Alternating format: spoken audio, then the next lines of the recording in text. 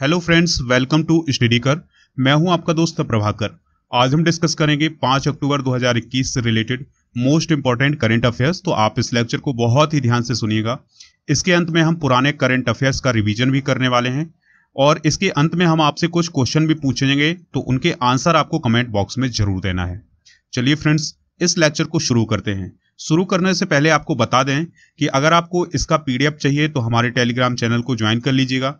जिसका लिंक आपको description box में मिल जाएगा।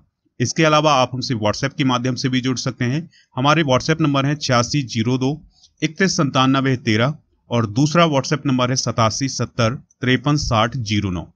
इसके अलावा स्टडी कर को आप खबरी ऐप पर फॉलो कर सकते हैं, जहाँ पर आपको मोस्ट इंपॉर्टेंट ऑडियो लेक्चर मिल जाएँगे।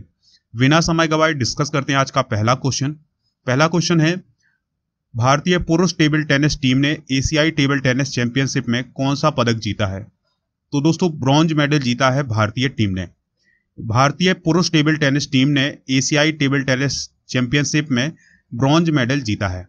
दोस्तों, भारतीय टीम ने सेमीफाइनल में साउथ कोरिया से शून्य तीन से हार करके ब्रॉन्ज मेडल जीता है। एशियाई टेबल टेनिस चैंपियनशिप दो साल में होने वाला टूर्नामेंट है, जो कि 1926 से आयोजित किया जा रहा है।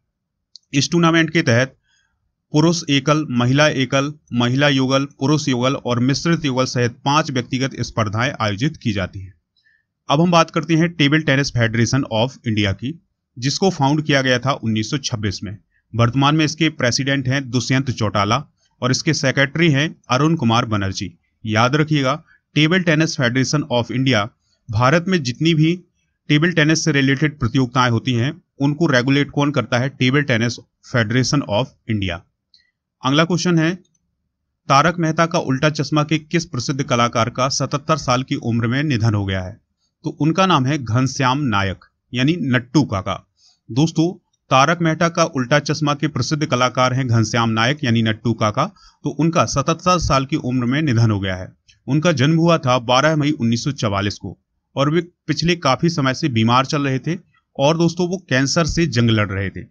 वे साल 1960 में अशोक कुमार की फ़िल्म मासूम में चाइल्ड एक्टर के तौर पर नज़र आए थे। इसके अलावा उन्होंने बेटा, तिरंगा, आँखें, लाडला, क्रांतिवीर, आंदोलन, बरसात, माफिया, चाइना गेट, तेरे नाम जैसी फ़िल्मों में काम कर चुके हैं। अगला क्वेश्चन है, इंपॉर्टेंट क्वेश्चन है, ध्यान से सुनना है आपको। किस राज्य में व्यापक रूप से उत्पादित किए जाने वाले चावल की एक खास किस्म बाडा कोलम को जीआई टैग दिया गया है। तो ये बाडा कोलम चावल पाया जाता है महाराष्ट्र में। दोस्तों, महाराष्ट्र के पालघर ज़िले की बाडा में व्यापक रूप से उत्पादित किए जाने वाले चावल की एक खास किस्म है बाडा कोलम तो उसे हाल ही में जीआई टैग दिया गया है। बाडा कोलम चावल को सामान्य तौर पर जिनी या झीनी चावल के नाम से जाना जाता है, कहाँ? महाराष्ट्र में। यह पालघर के बाडा तहसील में मुख्य तौर पर उगाया जाता है। दोस्तों, इस चावल का दाना सफ़ेद रंग का होता है। अगला क्वेश्चन है, ध्यान से सुनिएगा।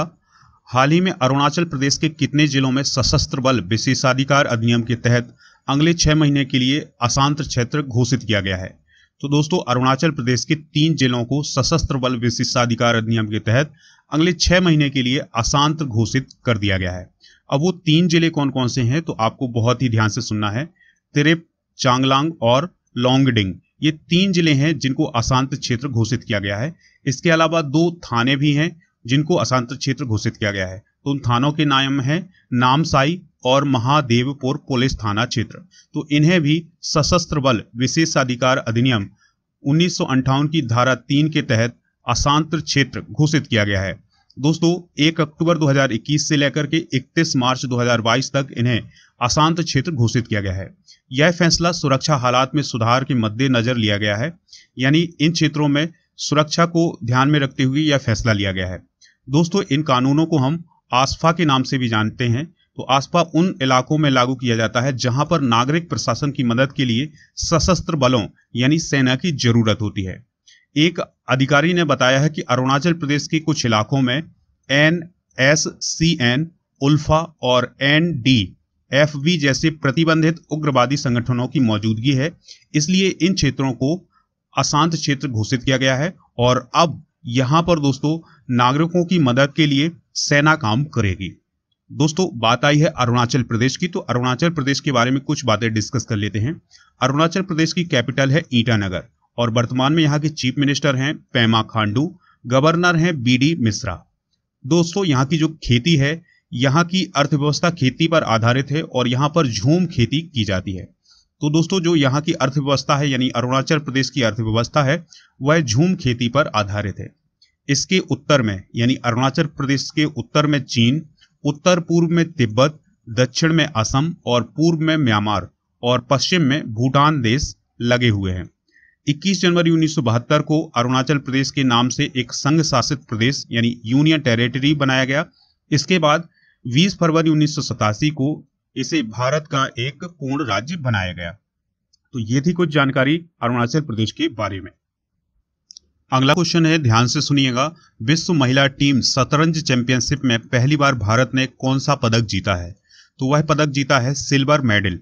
यानी दोस्तों विश्व महिला टीम शतरंज चैंपियनशिप ने भारत ने सिल्वर मेडल जीता है। और दोस्तों, यह भारत का पहला मेडल है विश्व महिला टीम शतरंज चैंपियनशिप में। दोस्तों, भारत ने फिडे विश्व महिला टीम शतरंज चैंपियनशिप प्रतियोगिता में पहली बार सिल्वर मेडल अपने नाम किया है। भारतीय टीम गोल्ड मेडल लेने से चूक गई और उसे फाइनल में रूस के हाथों शून्य दो से हार का सामना करना पड़ा था। यूक्रेन और जॉर्जिया तीसरे स्थान पर रहकर इन्होंने कांस्य पदक हासिल किया है। यानी दोस्तों, ध्यान से सुनिएगा, जो फिडे विश्व महिला टीम शतरंज चैंपियनशिप प्रतियोगिता हुई है, उसमें पहले स्थान पर रूस रहा है, दूसरे स्थान पर भारत और तीसरे स्थान पर यूक्रेन और जॉर्जिया संयुक्त रूप से रहे हैं। दोस्तों, भारत का विश्व टीम शतरंज चैंपियनशिप में यह पहला पदक है। दोस्तों, इस टीम में कौन कौन लोग शामिल थे तो ध्यान से सुनिएगा, डी हरिका, आर वैशाली तानिया सचदेव और मैरी अन गोम्स। ये लोग इस टीम में शामिल थे तो इन्हीं की टीम ने सिल्वर मेडल जीता है। अब बात आई है फिडे की तो फिडे की बात करते हैं तो इसका फुल फॉर्म होता है इंटरनेशनल चेस फेडरेशन। इसकी स्थापना हुई थी 20 जुलाई 1924 को। इसका हेडक्वार्टर है लुसाने स्विट्जरलैंड में और इसके सदस्य हैं एक सौ पंचानबे दोस्तों, इंटरनेशनल चेस फेडरेशन को वर्ल्ड चेस फेडरेशन के नाम से भी जाना जाता है। अब इंटरनेशनल चेस फेडरेशन का काम क्या होता है? यानी जितने भी फेडरेशन इससे जुड़े हुए हैं, कितने फेडरेशन जुड़े जुड़े हुए हैं, याद रखिएगा, एक सौ पंचानवे फेडरेशन जुड़े हुए हैं तो इन सभी को रेगुलेट करना किसका काम होता है? इंटरनेशनल चेस फेडरेशन का। अगला क्वेश्चन है, चार अक्टूबर से दस अक्टूबर तक विश्व भर में, यानी पूरे विश्व में कौन सा सप्ताह मनाया जाता है? तो यह सप्ताह मनाया जाता है विश्व अंतरिक्ष सप्ताह। ध्यान से सुनिएगा, चार अक्टूबर से दस अक्टूबर के बीच में विश्व अंतरिक्ष सप्ताह मनाया जाता है। दोस्तों, चार अक्टूबर से दस अक्टूबर तक कौन सा सप्ताह मनाया जाता है, याद रखिएगा, विश्व अंतरिक्ष सप्ताह इस दिवस पर मानव की बेहतर स्थिति के लिए विज्ञान और टेक्नोलॉजी के योगदान पर ज़ोर दिया जाता है। यानी मानव के बेहतर जीवन के लिए जो विज्ञान, यानी साइंस और टेक्नोलॉजी का योगदान है, उसको याद किया जाता है। चार अक्टूबर उन्नीस को पहला मानव निर्मित उपग्रह स्पूतनिक फ़र्स्ट लॉन्च किया गया था। तो इसको याद करने के लिए ही हम 4 अक्टूबर से 10 अक्टूबर तक विश्व अंतरिक्ष सप्ताह दिवस मनाते हैं। दोस्तों, या विश्व अंतरिक्ष सप्ताह मनाते हैं। अब बात करते हैं दोस्तों, स्पूतनिक फ़र्स्ट की। तो 4 अक्टूबर को सन उन्नीस सौ सत्तावन में सोवियत संघ ने पहला मानव निर्मित उपग्रह स्पूतनिक फ़र्स्ट अंतरिक्ष में भेजा था। यानी, आप ध्यान से सुनिएगा कि इस दुनिया का, यानी इस पूरे विश्व का पहला उपग्रह कौन था? स्पूतनिक फ़र्स्ट, जिसे सोवियत संघ ने लॉन्च किया था। द्वितीय विश्व युद्ध के बाद सोवियत संघ के द्वारा अंतरिक्ष की कक्षा में भेजा गया पहला कृत्रिम उपग्रह अमेरिका की आँखों में किरकिरी बन गया था, क्योंकि अमेरिका सुपर पावर बनना चाहता था, लेकिन सोवियत संघ ने उसके मंसूबों पर पानी फेर दिया था और सोवियत संघ ने स्पुतनिक फ़र्स्ट को लॉन्च कर दिया, जिससे अंतरिक्ष में सोवियत संघ का जलवा हो गया। दोस्तों, यह उपग्रह उनतीस हज़ार किलोमीटर प्रति घंटे की रफ्तार से छियानबे दशमलव दो मिनट में पृथ्वी की एक कक्षा का चक्कर पूरा कर लेता था। परीक्षण के वक्त इसका वज़न करीब तेरासी दशमलव छह किलो था और इसका व्यास था अंठावन सेंटीमीटर। दुनिया भर के रेडियो ऑपरेटर्स को सिग्नल देने वाला स्पुतनिक फ़र्स्ट महज 21 दिन में ही काम करना बंद कर दिया था। यानी स्पुतनिक फ़र्स्ट को जब से लॉन्च किया गया था, इसने 21 दिनों तक ही काम किया है और 26 अक्टूबर उन्नीस सौ सत्तावन तक इसकी बैटरी खत्म हो जाने की वजह से इसने काम करना बंद कर दिया था। दोस्तों, खत्म होने से पहले यह पृथ्वी की कक्षा में चौदह हज़ार सॉरी 1440 चक्कर लगा चुका था। अगला क्वेश्चन है, किस केंद्र शासित प्रदेश में विश्व का सबसे बड़ा खादी राष्ट्रीय ध्वज फहराया गया है? तो यह फहराया गया है लद्दाख में। दोस्तों, लद्दाख के लेह में उपराज्यपाल आर के माथुर ने विश्व का सबसे बड़ा खादी राष्ट्रीय ध्वज फहराया है। यह क्वेश्चन बहुत ही इंपॉर्टेंट है, आप इसमें स्टार कर लीजिएगा, क्योंकि यहाँ से क्वेश्चन पूछा जा सकता है। जब यह ध्वज फहराया गया था तो इस अवसर पर थल सेना के प्रमुख मनोज मुकुंद नरमाने भी उपस्थित थे। यह ध्वज 225 फीट लंबा है और 150 फीट चौड़ा है। इसका वज़न 1400 किलोग्राम है और यह ध्वज सैंतीस वर्ग फुट क्षेत्र को कवर करता है। इस ध्वज को तैयार करने में उनचास दिन लगे थे। अगला क्वेश्चन है, इंपॉर्टेंट क्वेश्चन है, हाल ही में किसके द्वारा डूरंड कप फुटबॉल ट्रॉफी को जीता गया है? इस क्वेश्चन में आप स्टार कर लीजिएगा और इसको आप नोट कर लीजिएगा। डूरंड कप फुटबॉल ट्रॉफी 2021 को किसने जीता है? तो ध्यान से सुनिएगा। ये जीता है एफसी गोवा ने। यानी एफसी गोवा के द्वारा डूरंड कप फुटबॉल ट्रॉफी को जीता गया है 2021 में। दोस्तों एफसी गोवा ने मोहम्मडन स्पोर्टिंग को एक शून्य से हराकर पहली बार डूरंड कप फुटबॉल टूर्नामेंट को जीत लिया है। गोवा के लिए विजयी गोल किया था कप्तान एडुआर्डो वेडिया ने, जो कि उन्होंने 105वें मिनट में गोल दागा था। दोस्तों, गोवा को जीत के साथ 40 लाख रुपए मिले हैं और स्पोर्टिंग को 20 लाख रुपए का पुरस्कार दिया गया है। डूरंड कप प्रतियोगिता का आयोजन भारत में होता है और यह भारत में फुटबॉल का सबसे पुराना टूर्नामेंट है। सन 1888 में शिमला में भारत में पहली बार फुटबॉल प्रतियोगिता, यानी डूरंड कप, आयोजित हुई थी। आज भी यह खेल दुनिया की दूसरी सबसे पुरानी फुटबॉल प्रतियोगिता है। दोस्तों, डूरंड कप 2021 में 5 सितंबर से 3 अक्टूबर तक कोलकाता में आयोजित किया गया था और यह डूरंड कप का 130वां संस्करण था। 2019 में यह खिताब गोकुलम केरल ने मोहन बागान को हराकर जीता था। दोस्तों 2020 में इसका आयोजन कोविड के कारण नहीं किया गया था, लेकिन 2021 में इसका आयोजन किया गया और एफसी गोवा ने इसको जीता है। दोस्तों, अब हम रिवीजन वाले क्वेश्चन डिस्कस कर लेते हैं तो ध्यान से सुनिएगा। इसमें हम करंट अफेयर्स को रिवीजन कर रहे हैं। हाल ही में किस प्रसिद्ध पत्रकार को 2021 का फुकु ओका पुरस्कार से सम्मानित किया गया है? तो उनका नाम है पी साइना। क्या है दोस्तों? पी साइना। जिन्हें फुकु ओका पुरस्कार दिया गया है, जो कि जापान का एक पुरस्कार है। अगला क्वेश्चन है, विश्व सोशल मीडिया दिवस किस दिन मनाया जाता है? तो विश्व सोशल मीडिया दिवस मनाया जाता है 30 जून को। केंद्र सरकार ने किस देश से बिना लाइसेंस के जून 2022 तक आलू के आयात को मंजूरी दी है?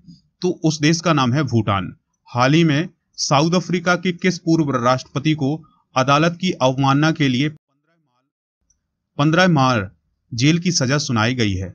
तो उनका नाम है जैकब जुवा।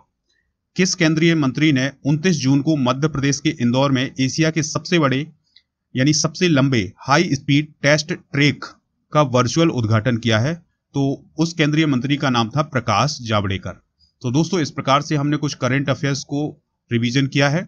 अब हम उन प्रश्नों की बात करेंगे जिनके जवाब आपको कमेंट बॉक्स में देना है।